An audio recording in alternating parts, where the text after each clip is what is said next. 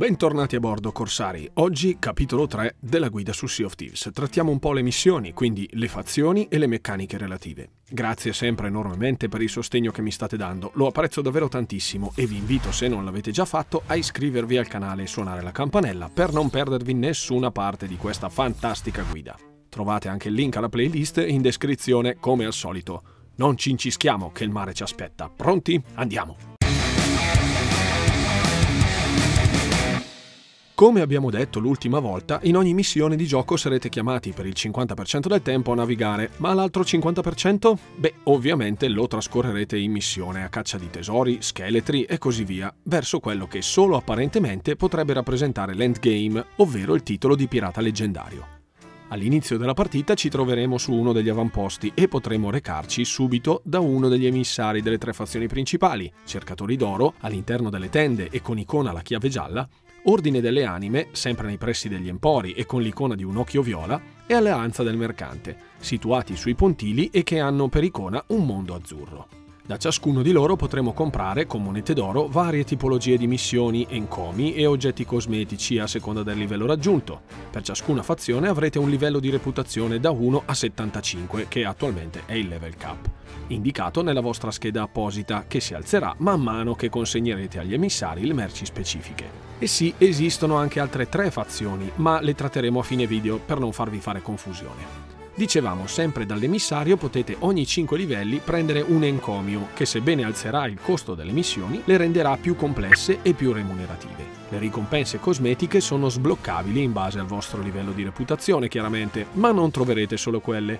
Avrete la possibilità di comprare le bandiere di ciascuna fazione, al prezzo una tantum di 20.000 monete d'oro, che vi consentiranno di diventare loro emissari e di velocizzare anche di parecchio il livellamento. Vediamo come funzionano prima di entrare nei dettagli delle missioni, quindi. Una volta acquistata la bandiera dell'emissario potrete su un tavolino nei pressi del vendor stesso votare per alzare la bandiera, ovvero assumere il ruolo di emissario finché non la riconsegnerete o non verrete affondati. Quando la maggioranza della ciurma ha votato in favore, una piccola imbarcazione comparirà sul tavolino, rivelando a voi, ma anche a tutti gli altri che passeranno sui tavolini di uno qualsiasi degli avamposti, quanti emissari ci sono per quella fazione nella vostra partita. Tenete da parte questa informazione apparentemente inutile, tornerà comoda più avanti. Alzata la bandiera, avrete in basso a sinistra un indicatore con il simbolo della fazione, 5 barrette, di cui la prima illuminata, che rappresentano il livello della bandiera, e un anello esterno. Quando recupererete merci idonee alla vostra fazione, ma non solo, vi lascio in sovraimpressione l'elenco completo delle azioni valide, l'anello esterno man mano si riempirà e al giro completo alzerà di 1 il livello della vostra bandiera. Più il vostro livello della bandiera sarà alto, fino al massimo di 5, più ricaverete oro e reputazione con la fazione quando venderete le specifiche merci agli avamposti. Vi lascio ora indicato a video una tabella riassuntiva di quali sono le percentuali bonus a seconda del livello. Fatene buon uso. Raggiunto il livello 5 avrete accesso alle missioni speciali, interagendo con il relativo emissario all'avamposto, che saranno parecchio fruttuose. Ricordatevi sempre, prima di concludere la sessione di gioco, di abbassare la bandiera al solito tavolino dell'emissario per prendervi altra esperienza e le monete d'oro bonus. Ecco, non fate come quegli scappati di casa che dopo tre ore di partita, sfatti e stropicciati dalla navigazione, danno fuoco alla nave con il classico funerale vichingo senza abbassare la bandiera di livello 5. Mi raccomando, eh! Passiamo dunque a vedere un po' tutti i tipi di missione che potremo trovare in game. Coi cercatori d'oro avremo due tipologie di missioni, le ricerche dei tesori e le cripte. Le prime possono essere delle banali mappe di isole specifiche e una volta raggiunte, sfruttando rocce, piante, particolari e vari dettagli sulla mappa, orientarvi e recarvi nei punti indicati con la X, scavare, disseppellire i tesori di varia natura e così via. Sempre le ricerche dei tesori possono fornire delle pergamene con degli indovinelli, ognuno dei quali avrà vari step. Il primo sarà visibile e vi fornirà il nome dell'isola, che una volta raggiunta svelerà lo step successivo, il quale solitamente citerà un punto particolare in una zona dell'isola con un'azione da compiere per progredire, quale alzare la lanterna, suonare uno strumento, così via, per sbloccare gli step successivi e arrivare a quello finale dove verrà indicato un ennesimo punto di interesse, una direzione e un numero di passi da compiere per arrivare al punto esatto dove è sepolto il tesoro. Per gli indovinelli può venirvi in soccorso il sito di Rare Thief e la relativa app che avevo citato nel video guida precedente, andate a recuperarlo se non l'avete visto. Grazie a loro potrete filtrare le indicazioni degli indovinelli in modo che siano visibili direttamente sulle mappe di gioco e sì, vi aiuterà un sacco in caso di bisogno. La seconda categoria di missioni dei cercatori d'oro sono le cripte, ottenibili fra le missioni una volta raggiunto il livello 25 con i cercatori d'oro e funzionano in questo modo vi verrà fornita una bussola speciale nella ruota delle missioni che alla stregua di un bastone da rabdomante non avrei mai pensato di dire bastone da rabdomante in una recensione. Ma vabbè, dicevo, alla stregua di un bastone da rabdomante oscillerà verso una direzione, prima in maniera ampia e poi sempre più precisa. Una volta sull'isola l'ago punterà verso l'obiettivo e arrivati sul punto esatto l'ago comincerà a ruotare completamente. Scavando in quel punto riceverete un frammento di mappa. Il frammento di mappa indicherà un'isola, sempre più riconoscibile man mano che troverete tutti gli altri frammenti, sulla quale ci sarà una X dove scavare. Prima di affrontare il finale, tre consigli. 1. Uccidete sempre tutti gli scheletri che fungono da guardiani dei frammenti, perché alcuni, quelli con le bende sugli occhi e altre caratteristiche estetiche solitamente assenti sugli scheletri normali, dropperanno dei tesori. 2. Prima di abbandonare l'isola alla volta di un altro frammento, controllate che non ci siano più frammenti sulla stessa isola, a volte capita. 3. Se state usando le bandiere, ricordate che ogni frammento di mappa che troverete farà alzare il livello della bandiera, quindi anche se avete capito di che isola si tratta, potrete pompare la bandiera trovando tutti i frammenti, anche se non necessari.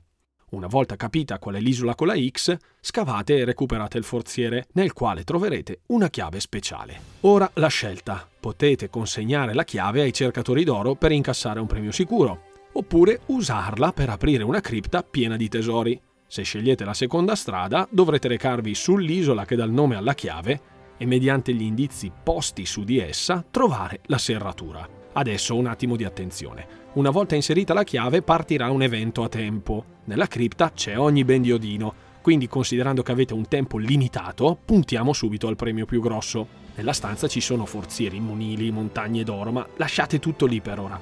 Appena entrate, cercate subito dei medaglioni. Questi andranno inseriti nel tavolo centrale, il quale ogni volta che inserirete un medaglione e premerete il pulsante, vi mostrerà un simbolo partendo dal primo a sinistra. Quel simbolo sarà da posizionare sulla colonna più a sinistra avvicinandosi ad essa e ruotando il blocco mobile. Stessa cosa col secondo e terzo medaglione, rispettivamente per la seconda e terza colonna da sinistra. L'ultima colonna sarà la somma di tutti i simboli precedenti. Una volta fatto, cliccate il tasto e tada! Jackpot! Va detto che basterebbero due medaglioni perché una volta capiti i primi due simboli potrete mettere comodamente il quarto simbolo e poi avere il 50% di possibilità per imbroccare al volo quello della terza colonna per esclusione. Fate voi. Una volta portato fuori dalla porta il forziere dei cercatori, tirate fuori più che potete, fino a quando il tempo scadrà, e rimarrete chiusi dentro.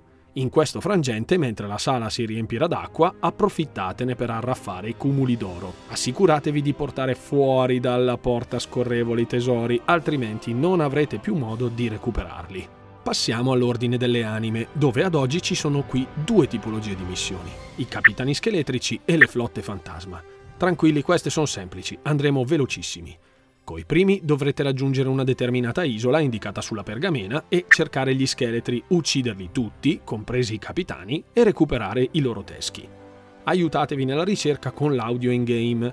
Quando sarete nei pressi del posto giusto, una musica inquietantissima vi farà da sottofondo. Lì in giro inizieranno a comparire ondate di scheletri che dovrete sterminare. Per la cronaca esistono diversi tipi di scheletri, ognuno con i suoi punti deboli. Oltre a quelli classici avremo infatti quelli ombra, che solo di notte diventano incorporei e per essere attaccati devono essere prima illuminati alzando la torcia. Ripeto, alzando la torcia. Quelli con le foglie addosso, che vanno tenuti lontani dall'acqua, oppure fioriranno e diventeranno molto più forti e che riceveranno più danni dai colpi di spada. E quelli dorati, che funzionano in maniera diametralmente opposta a quelli d'erba, quindi vanno portati in acqua per rallentarli e indebolirli e subiranno più danni invece dalle armi da fuoco. Consiglio per quelli dorati, capitani a parte, basta una bomba incendiaria ben piazzata per liberarsene con le fiamme, anziché impazzire con le armi da fuoco, lanciargli addosso l'acqua, eccetera, eccetera. Seconda tipologia delle missioni dell'Ordine delle Anime sono le flotte fantasma, disponibili solo una volta raggiunto il livello 25 con la fazione. Nei pressi dell'isola indicata ci saranno dei vascelli fantasma che semplicemente dovrete colpire con tre cannonate per abbatterle. Occasionalmente vedrete dei fantasmi volteggiare sull'acqua e vi indicheranno dei tesori lasciati dalle navi abbattute. Troverete teschi dei dannati e tesori dell'ordine delle anime di varia natura, ma anche casse di stoccaggio dei dannati contenenti palle di cannone e assi di legno. Dopo svariate ondate partirà la fase finale, dove comparirà la nave fantasma del capitano, che per essere distrutta dovrà essere colpita ben 10 volte e una volta abbattuta la missione si concluderà. Un paio di piccole curiosità. Ogni tipo di palla di cannone funziona sulle navi fantasma, quindi oltre a quelle classiche anche le palle maledette e le palle incatenate, che solitamente hanno altri scopi. Le vedremo nel capitolo del PvP. Seconda curiosità, le casse di stoccaggio dei dannati sono alla stregua di quelle classiche riempibili con ogni tipo di materiale, tuttavia possono essere vendute anche vuote all'alleanza del mercante per un po' d'oro e reputazione extra, mentre quelle standard non sono vendibili. Concludiamo con l'alleanza del mercante che invece ha tre missioni. Recupero animali, trasporto merci e ricerca relitti. La prima, se vogliamo la più ostica, vi chiederà di portare una serie di animali con varie caratteristiche o anche di risorse, quali barili di polvere da sparo o casse di materiali da riempire, presso un NPC su una determinata isola entro un tempo limite, che potrete controllare usando l'orologio in dotazione. Partiamo dal più facile. I barili di polvere da sparo si trovano facilmente sui forti degli scheletri, anche non attivi, quindi super easy. Le casse di risorse, che dovrete ritirare preventivamente dall'emissario dell'alleanza del mercante, le dovrete riempire di merci specifiche, quindi con un po' di pit stop fra avamposti e isole farete in fretta. Gli animali sono più ostici, su ciascuna isola ci saranno solo uno o due tipi di animali e non su forti o avamposti. Quindi per sapere su quali andare potrete aiutarvi con la già citata app per la ricerca dei tesori, che nei filtri hanno anche l'opzione per mostrare qual è la fauna locale su ogni singola isola in gioco. Prendete le gabbie per gli animali, rispettivamente pollai, gabbie per i maiali e ceste per i serpenti, e andate sull'isola adatta e impugnando la gabbia opportuna prendete gli animali tenendo premuto il grilletto destro, stando attenti ai colori richiesti. Facile, no? No, perché a parte trovare il colore esatto degli animali, che a volte non riuscirete a trovare per sfiga, Nonostante quella tipologia di animale sia nel posto esatto in cui vi trovate, dovrete anche prendervene cura fino al punto di consegna perché sì, gli animali possono morire se subiscono danni. Inoltre i serpenti cercheranno di mordervi, quindi dovrete incantarli suonandogli una melodia così da inibirli temporaneamente. Hanno anche il brutto vizio di sputare per avvelenarvi. Ah sì, i maiali invece tenderanno a morire di fame, quindi quando emetteranno un particolare verso abbastanza disturbante, dovrete nutrirli con una banana in modo da tenerli in vita fino alla loro consegna. Passiamo al trasporto merci, le cosiddette cargo run dove sarete chiamati a ritirare piante, sete e bottiglie di rum da un punto A e portarle ad un punto B indicato sulle casse stesse leggendo la nota di destinazione. Oh, questo è semplice, no? Sbagliato di nuovo.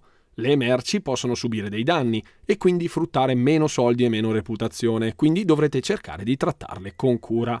Le piante andranno bagnate, le stoffe non dovranno essere bagnate e le bottiglie non dovranno danneggiarsi per colpi subiti o per cadute che subirete mentre le trasportate.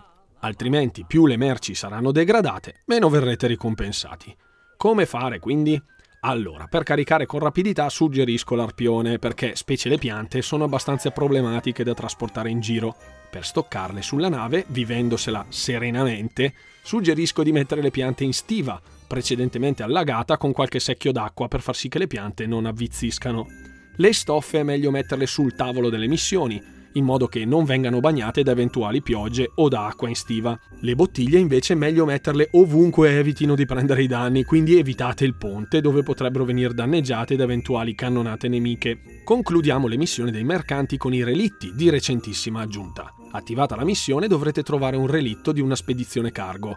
sparita lungo una tratta indicata sul contratto. Lungo tale tratta troverete stormi di gabbiani dove potrete recuperare, oltre a risorse e merci della fazione, anche barili speciali o bottiglie contenenti indizi, quindi occhi aperti mentre siete in mare, seguendo gli indizi che vi condurranno talvolta in caselle specifiche della mappa, altre volte su determinate isole, troverete ulteriori risorse e indizi fino a trovare il relitto della spedizione indicata. Nel relitto troverete il capitano che solitamente avrà con sé un manifesto. Una volta raccolto, la missione si concluderà. Ma, ma, ma, ma c'è un ma. Se andate a guardare nella cabina del capitano del relitto, vedrete una montagna di merci. Come fare ad aprire la cabina? Semplice, se siete stati fortunati, mentre recuperate i vari indizi vi sarete imbattuti in una chiave speciale, che può essere anch'essa venduta ai mercanti, va detto, da utilizzare sulla porta per poterla aprire e recuperare il grosso del carico. A onor di cronaca queste missioni possono essere rapidissime, del tipo stormo trovato subito, indizio, chiave, indizio, relitto, fine, oppure molto lunghe se non trovate il relitto o se vi incaponite a cercare la chiave anziché concludere la missione solo con il manifesto. Ve lo dico, il fattore C è determinante. Il mio consiglio è se non trovate la chiave, che so, dopo un quarto d'ora che avete individuato il relitto e fatto tutti gli indizi, che se avete la bandiera dei mercanti alzata contribuiranno a farla salire di rango volta per volta, mollate il colpo. Prendete il manifesto, consegnatelo e ripartite con una nuova missione. Le missioni delle fazioni primarie sono finite, ma come vi avevo promesso, trattiamo anche le altre tre fazioni per completezza, ovvero la fortuna di Atena, le ossa del mietitore e la chiamata del cacciatore. La fortuna di Atena è la fazione dei pirati leggendari, che vi consentirà di accedere al covo delle leggende pirata presso gli avamposti, con nuovi oggetti cosmetici e nuove missioni. Il level cap della fazione è 20 al momento e le loro missioni sono sostanzialmente un connubio fra ricerca di forzieri, indovinelli, capitani scheletrici e cargo run. Una volta completate avrete la missione finale dove dovrete recuperare il leggendario forziere di Atena che vi darà un bel po' d'oro e reputazione della fazione. Anche qui potete issare bandiere per aiutarvi a livellare, ma attenzione! Gli emissari di Atena sono bersagli facili proprio perché le missioni sono solitamente lunghe e a dire il vero un po' noiose, quindi ogni pirata vi vedrà come un'ottima chance di farmare la reputazione cercando di affondarvi e rubarvi tutto il frutto del vostro durissimo lavoro. Le ossa del mietitore hanno invece come quartier generale il rifugio del mietitore e se diventerete suoi emissari alzando la bandiera su quest'isola o presso il teschio ingabbiato in ogni avamposto sarete visibili da tutte le navi del server. Di contro, ovviamente, per livellare questa fazione non ci saranno oggetti specifici, bensì ogni tesoro andrà bene se consegnato all'NPC al quartier generale. E inoltre vi verrà pagato molto di più rispetto a quanto guadagnereste vendendolo alla fazione classica di appartenenza. Arrivato a livello 5 della bandiera del mietitore, inoltre potrete vedere voi sulla mappa ogni imbarcazione degli emissari, anche a livello 1 della bandiera, quindi come avrete capito potreste andare a caccia con un GPS direttamente a bordo, rendendo il PvP un vero spasso. Usate questa info a vostro vantaggio. Se vedete sul vostro server un mietitore a livello 5, un modo saggio per poter giocare tranquilli sarà quello di non issare nessuna bandiera, così da essere fuori dai radar. All'emissario delle ossa del mietitore, inoltre, e questo è utile per tutte le fazioni, potrete consegnare le bandiere di navi affondate, che vi frutteranno un bel po' di oro e reputazione, arrivando anche a cifre davvero notevoli per bandiere di emissari a livello 5. Unico appunto, se consegnate la bandiera della vostra nave affondata, vi verrà dato un solo gold. L'ultima fazione secondaria è la chiamata del cacciatore, che riguarda solo caccia e pesca e non ha bandiere né missioni di alcun tipo. I loro NPC saranno dislocati sulle varie chiatte sparse per il mondo di gioco e potrete consegnare loro qualsiasi tipo di carne o di pesce crudo o cucinato. Ci sono metodi per livellare velocemente in questa fazione, tuttavia non è proprio così avvincente come le altre. Sebbene portarla a livello 50, conti come una delle altre fazioni per arrivare al rango di pirata leggendario. In chiusura, eccovi qualche altra nota a margine. Le missioni di ricerca tesori, cripte, capitani scheletrici e cargo run sono disponibili anche nella versione cinerea, bordate di rosso, presso gli emissari e saranno indicate sulla ruota delle missioni con uno sfondo infuocato. Queste missioni ovviamente si svolgeranno sul Devil's Roar, quindi frutteranno il 50% in più di quelle classiche. Però sappiatelo, quell'angolo della mappa non è per niente ospitale ed è sconsigliato ai principianti, benché siano ottimi posti dove le ciurme più skillate possano farmare indisturbate. Tutte le missioni avranno una piccola iconcina in basso a destra e saranno del colore della fazione per quelle classiche, delle bottiglie per i messaggi in bottiglia o le pergamene trovate nei barili o delle buste da lettera per gli ordini degli scheletri. Mentre per le missioni degli emissari, una volta raggiunta la bandiera livello 5, avranno ovviamente una forma di una piccola bandiera. Lo dico perché spesso, dopo lunghe sessioni di gioco, avrete talmente tante missioni da perdere di vista quelle principali.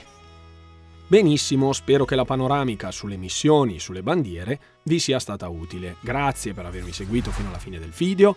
Invito a lasciare like se il video vi è piaciuto e a iscrivervi per non perdervi nessuno dei miei contenuti che pubblico sul mio canale. Ci rivediamo prossimamente con il capitolo numero 4 che riguarderà il PvP, quindi il combattimento sia per nave che a terra. Quindi non perdetelo, mi raccomando. Rimanete sintonizzati sul canale di Walker e detto questo, buon divertimento gamers e alla prossima!